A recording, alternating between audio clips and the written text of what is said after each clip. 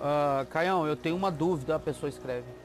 Voltando àquele assunto do, das paranormalidades. Eu tenho uma dúvida quanto a possessões e eventos paranormais.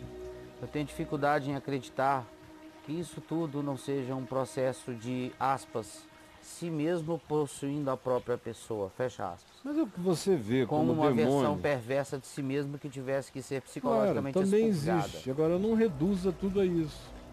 Que você falou, eu digo aqui há milhões de anos, né? Do psiquismo demoníaco, criado pelo próprio indivíduo.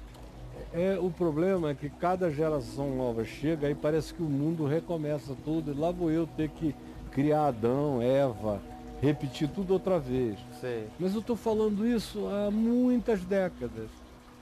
Quer ver? Olha aí, pra... primeira, primeira impressão dele é que é.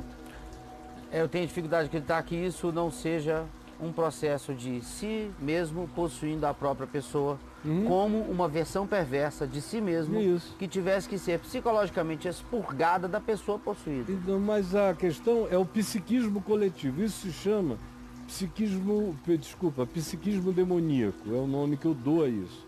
É o si contra si mesmo, é o indivíduo com uma baixa estima tão grande ou tão induzido que ele se identifica com a pior imagem que ele pode ter do mal. Uhum. Aí ele se identifica com Satanás, mas é ele mesmo, não é demônio. Esses casos aí de igreja, 99% desses casos não são demônios.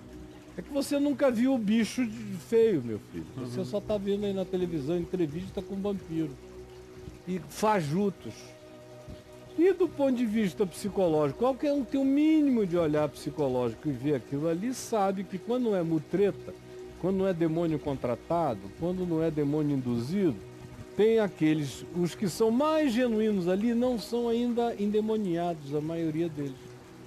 É a luta de si contra si mesmo, o indivíduo em geral com uma baixíssima autoestima que se identifica com a figura mais tenebrosa da nossa arquetipia ocidental, que é Satanás.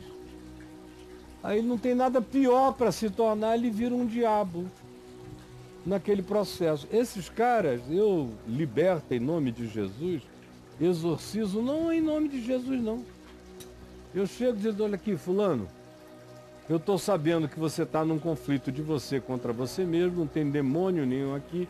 O demônio é a tua identificação com um pior de ti, e você já viu o que eu vi, e você sabe que não tem demônio nenhum, nem verdadeiro, que me meta medo nenhum, então vamos parar com isso.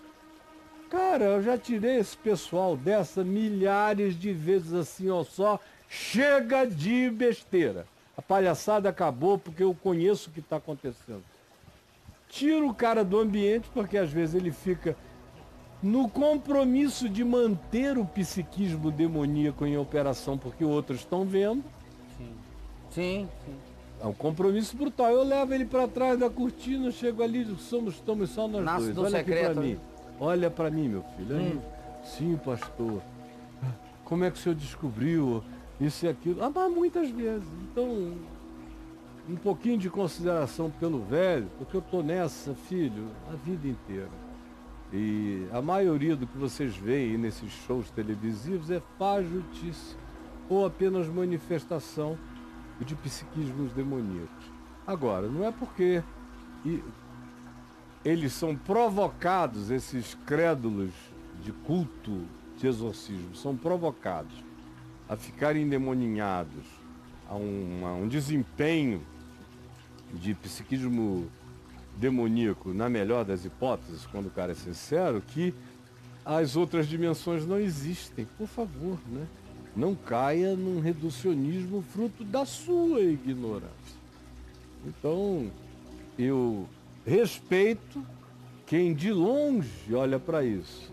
Agora, chega para quem conhece com aquela humildade necessária, porque além de olhar a dimensão psicológica e além da psicológica, a dimensão paranormal, que ainda não é o caso, paranormalidade é uma coisa, endemoniamento é outra.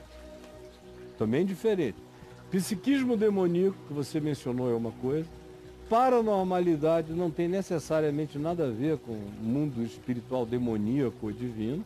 É uma função acima do normal, paralela ao convencionalmente normal, porém existente como função psíquica no indivíduo, independentemente de Deus ou do diabo. Mas é humano, então. Humano, okay. paranormalidade. Está ali operando a partir do indivíduo. E tem a possessão em si, com várias formas de possessão. Sem falar que tem um indivíduo que se torna um com o mal, que é aquela história do homem-diabo, sobre o qual eu já falei muitas vezes. Então, tem muita coisa aí no meu portal que me pouparia de responder essas perguntas, porque eu já falei disso demais. Demais, demais, demais. Eu espero que essa respostinha simples e cansada tenha sido de alguma utilidade para você, tá bom? Mas entra no portal. Eu botei aqui paranormalidade, deu 29 Ok? Paranormalidade é um reducionismo. Mas aí vamos aí. colocar aqui. Pode escrever aí. Possessão. Possessão demoníaca.